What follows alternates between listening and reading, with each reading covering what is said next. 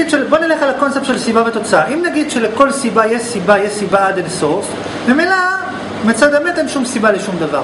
כי אין שום נקודת עוגן, אין לך עוגן של סיבה.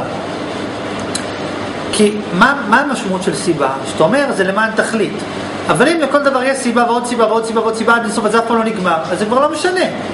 כי כבר מי החליט שהסיבה הזאת יותר טובה מהסיבה הזאת? זה כבר לא... יודעת, אם נגיד שיש סיבה וסיבה וסיבה וסיבה עד אינסוף, זה כאילו אין סיבה, זה כאילו...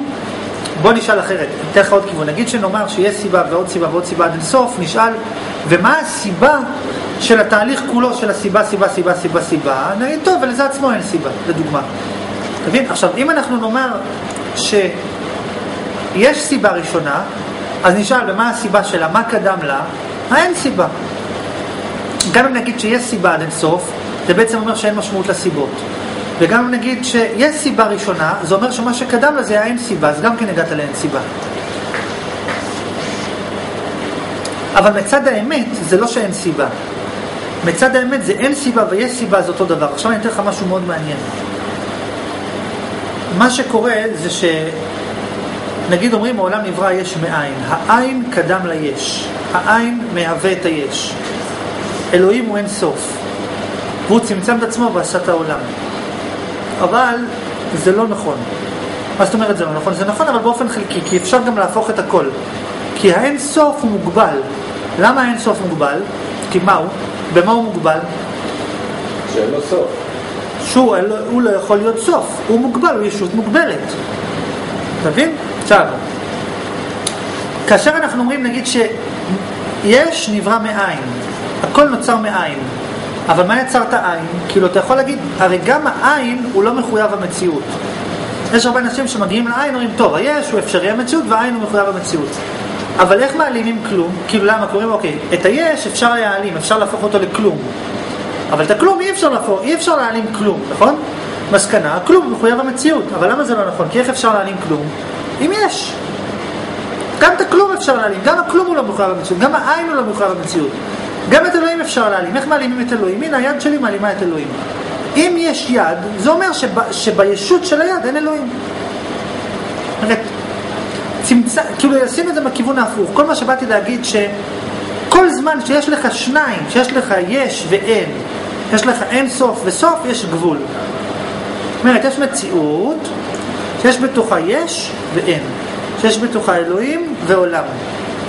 שניהם מוגבלים. אלוהים הוא לא העולם, העולם הוא לא אלוהים. הבנת? ומה שזה אומר בעצם, לכן לומר, נגיד שהיש הוא לא קדמון, אבל העין הוא קדמון. זה לא נכון, כי, כי גם העין הוא לא מחויב המציאות. דרך אגב, אפשר לעשות הפוך, אפשר בכלל להגיד שלא אלוהים ברא את העולם, אלא העולם בכלל בורא את אלוהים. אפשר להגיד, אפשר להגיד, אוקיי, היש הוא קדמון, והיש מרחיב את עצמו כדי להיות אינסופי. או היש מעלים את עצמו כדי להיות עין, לדוגמה. את הדברים האלה אפשר להפוך משני צדדים, איך שרוצים אפשר להפוך את זה. אם כאילו, אפשר להפוך את זה איך שרוצים. אם אלוהים נגדיר אותו כהכי פשוט, אפשר להגיד שהדברים המורכבים הופכים להיות ישות פשוטה. כל מה שאני בא להגיד שיש מציאות שיש בה שני צדדים. אלוהים הוא אחד מהצדדים של המטבע. וההבנה שאלוהים הוא אחד מהצדדים של המטבע, היא בעצם התשובה לכל השאלות. למה? כי אז אתה מבין שהיש והאין הם אחד. שהמחויב המציאות והאפשרי המציאות הוא אחד. ש... כי להגיד, לדוגמה, מה אנחנו אומרים? אנחנו אומרים, מה קדם ל... לאין... מה קדם ליש סיבה? האין סיבה. לדוגמה, אין סיבה, זה מה שקדם ליש סיבה. אבל זה לא נכון, כי נשאל, ומה הסיבה שאין סיבה? כי גם האין סיבה הוא לא מחויב המציאות. עדיין אפשר להסתכל, נגיד שאנחנו אומרים אין סיבה, ואחריו יש סיבה, נגיד לדוגמה, יש סיבה ראשונה שהיא מסובבת את הכל, ולפניה אין סיבה. אוקיי, עכשיו נסתכל על זה כתהליך, ונשאל, מה הסיבה ש... שאין סיבה קדם ליש סיבה? למה לא הפוך? אולי נגיד יכול להיות אין, יש סיבה ואז זה ייעלם ופתאום מתחיל להיות אין סיבה. בכל מקרה, ברגע שיש לך, ברגע שיש לך אין סיבה, יכול להיות יש סיבה. ברגע שאמרת שהאין סיבה קדם ליש סיבה, זה אומר שיכול להיות הפוך. שהיש סיבה יקדם לאין סיבה. כן, אבל זה משחקים של השכל, שהוא באיזשהו מקום מוגבל גם. מי אמר שהוא מוגבל? אני לא יודע מי אמר שהוא מוגבל, כאילו... אם אתה לא יודע, אז למה אתה אומר? בגלל המקומות האלה שאנחנו מגיעים הוא לא. מוגבל, זאת התשובה בעצם, הסברתי לך בהתחלה, זה התשובה, השאלה היא התשובה. זאת בעצם התשובה. ההבנה ששני הדברים, ההבנה שאפשר להוכיח שאלוהים ברא את העולם, אפשר להוכיח שהעולם ברא את אלוהים, ההבנה שאפשר להוכיח שיש סיבה, אפשר להוכיח שאין סיבה, וההבנה שאפשר להוכיח שם בחירה, אפשר להוכיח שם בחירה, זאת התשובה. זאת בדיוק התשובה. ההבנה שאפשר להוכיח שזה יד ולא כלום, וההבנה שאפשר להוכיח שזה כלום, זאת בעצם התשובה. השאלה האם זה כלום או יש, מה, האם אני קיים כן או לא, אפשר להוכיח שאתה קיים, אפשר להוכיח שאתה לא קיים, במוחלטות. אפשר להוכיח מוחלט שאתה לא קיים, ולהוכיח מוחלט שאתה קיים. אז מה התשובה? אז אני קיים או לא קיים? זאת בעצם התשובה.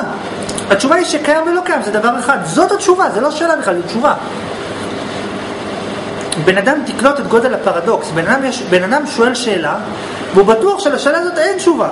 כאילו, כי, כי אתה מבין, נגיד שהוא שואל את עצמו, אני קיים או לא קיים, אז הוא אומר, אוקיי, אולי יש לזה תשובה. אבל אז הוא מגיע למסקנה שרגע, אפשר להוכיח שאני קיים, אפשר להוכיח שאני לא קיים. לכאורה אין, לא יכול להיות לזה תשובה. יש לו את השאלה, הוא מצא את השאלה הכי גדולה בעולם. אבל זה לא שאלה, זה בכלל תשובה. השאלה הכי גדולה בעולם היא בכלל התשובה. כל השאלות האלה, כל ההתפלפלות הזאת, יש סיבה, אין סיבה, בוא נוכיח שיש, בוא נוכיח שאין, בוא נוכיח שזה טוב, בוא נוכיח שזה רע. אתה מבין? זה בעצם התשובה בכלל.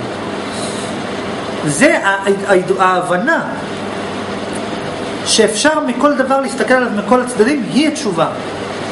היא התשובה שזה אחד בכלל. ואם אתה תבין שזה אחד, ממילא תענה לך השאלה, ואז אתה תהנה מהחיים?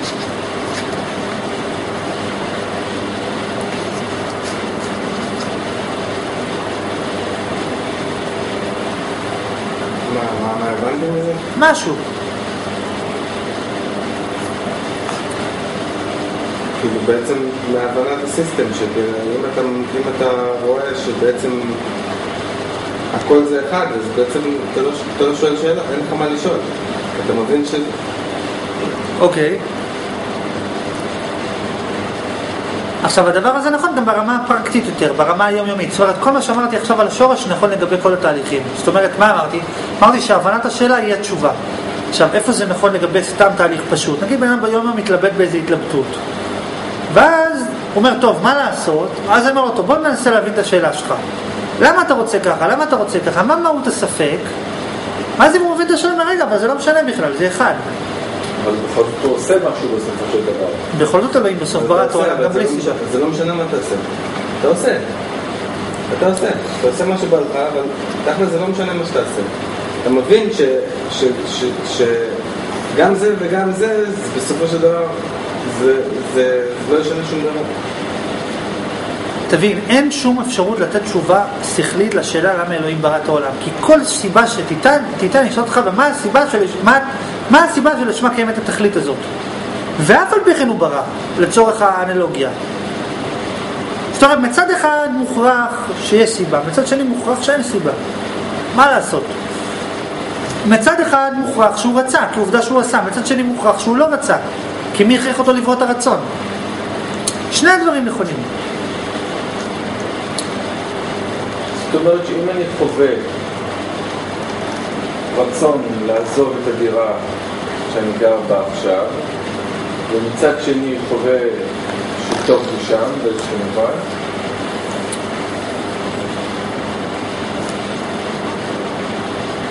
הסבל הוא, הוא מה...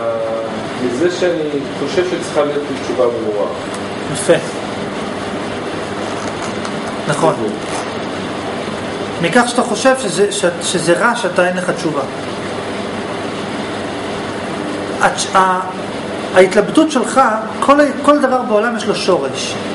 השורש של ההתלבטות שלך אם לעשות פעולה או לא, ושאתה לא מסוגל להגיע להחלטה, זה בדיוק, השורש שלו זה ההתלבטות של אלוהים, ההתלבטות הראשונה. האם לברוא את העולם כן או לא, גם הוא לא מסוגל להגיע להחלטה, כי שניהם טובים באותו מידה, או שניהם רעים באותו מידה, או שניהם לא משנים באותו מידה. ובכל זאת בסוף הוא החליט לברוא, או אפשר להגיד שבכל זאת מבחינתו הוא לא בורא נגיד, אתה מבין? כשמישהו שואל אותי למה אני עושה איזה פעולה, התשובה האמיתית זה לשאול אותו למה אתה שואל את השאלה. אם תצליח להסביר לי למה אתה שואל את השאלה, אני אסביר לך למה אני עושה את הפעולה. למה אתה צוחק? תסביר. כאילו ברור למה אתה צוחק, אבל תסביר. אז למה אתה עושה? תסביר לי למה אתה שואל, אני אסביר לך למה אני עושה. כדי להסביר למה אתה עושה... ברגע שאני, שאני אה, הגיע לשאלה למה אני שואל,